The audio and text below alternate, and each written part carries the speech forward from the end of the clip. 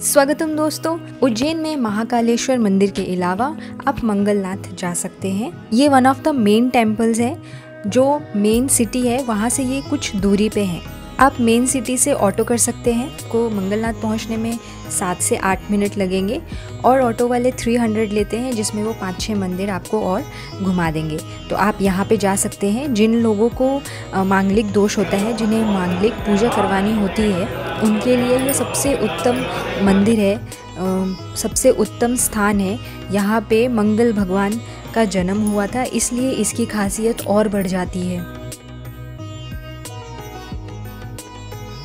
मांगलिक पूजा के अलावा यहाँ पे काल सर्प दोष पूजा भी होती है। काल सर्प दोष की पूजा वैसे तो त्रिंबकेश्वर नासिक में सबसे अच्छी होती है, लेकिन जो दूसरा उत्तम स्थान है वो मंगलनाथ मंदिर है। तो मांगलिक दोष और काल सर्प दोष की पूजा आप यहाँ करवा सकते हैं। मांगलिक पूजा में यहाँ पे जो बहुत ही फ़ेमस पूजा है, वो है भात पूजा, जिससे भात से मंगल भगवान की पूजा होती है। पूजा की डिटेल्स मैं आपको अगली वीडियो में ज़रूर दूँगी। उसके लिए अगर आपने मेरा चैनल सब्सक्राइब नहीं किया है तो प्लीज़ सब्सक्राइब करें और वीडियो अपडेट्स आपको जल्द ही मिल जाए। उसके लिए आप बेल आइकन पर क्लिक करना ना भूलें। इसके बाद हम सिद्धवट मंदिर गए थे। दुनिया में ऐसे सिर्फ़ चार ऐसे वट वृक्ष हैं जो हज़ारों सालों से भी पुराने हैं और वो कभी ख़त्म नहीं होते। उनमें से एक यहाँ सिद्धवट पे हैं। ऐसा कहा जाता है, ऐसी मान्यता है कि इस पेड़ को स्वयं पार्वती माता ने लगाया था। और इस वृक्ष पर आपने जो विक्रम और बेताल की कहानियाँ सुनी हैं, वो बेताल भी इसी पेड़ पर उल्टा लटकता था। ये जगह फ़ेमस है काल सर्प दोष पूजा करवाने के लिए और पिंडदान करवाने के लिए भी।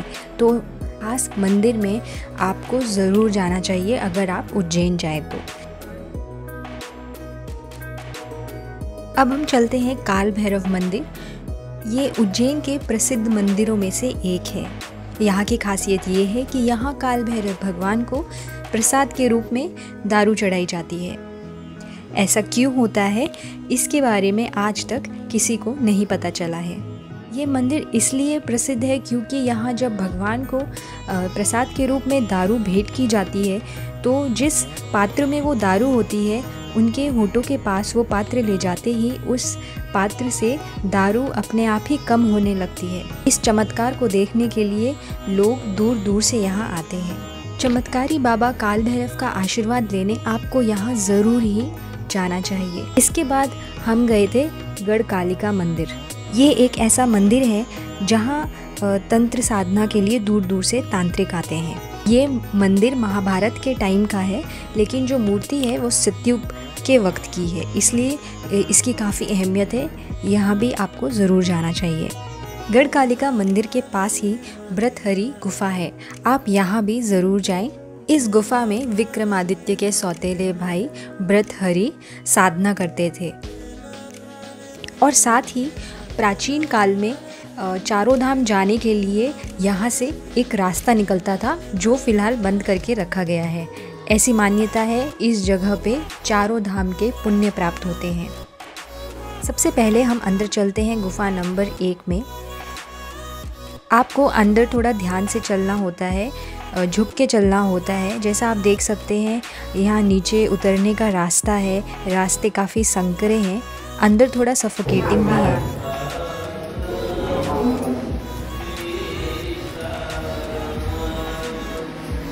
लिंग के पीछे जो रास्ता आप देख रहे हैं, वही है चारों धाम जाने का रास्ता।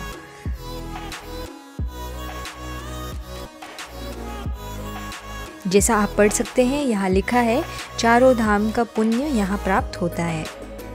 अभी इस रास्ते को बंद करके रखा गया है। यहाँ आपको थोड़ा झुक के चलना पड़ता है। और साथ ही यहाँ पे कुछ शिवलिंग भी आपको दिखेंगे। यहाँ पे श्री नीलकंठेश्वर महादेव की शिवलिंग रखी गई है। अगर आप इन मेन मंदिरों के बारे में जानना चाहते हैं या आपने मिस कर दिया हो मेरे वीडियो में तो आप पार्ट वन ज़रूर देखें। मेरा वीडियो देखने के लिए आप सबका बहुत बहुत धन्यवाद। ऐसे ही अमेजिंग वीडियोस के लिए सब्सक्राइब और लेटेस्ट वीडियो अपडेट्स के लिए बेल आइकन पे क्लिक करना ना भूलें। आप सबका बहुत बहुत धन्यवाद।